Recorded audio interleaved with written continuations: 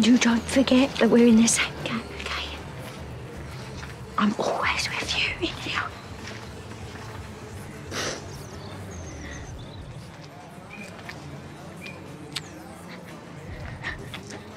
Now you be good for Nanny Jean, okay? You do as you're told, because Mummy's got to go away for a little bit. But you know Nanny Jean, she's not going anywhere. I promise. A few months.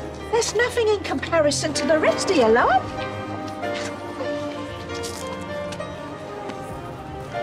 Love you, Stacey Slater.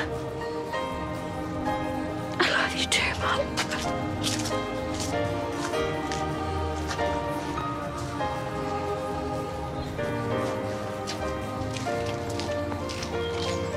See you soon, Mum.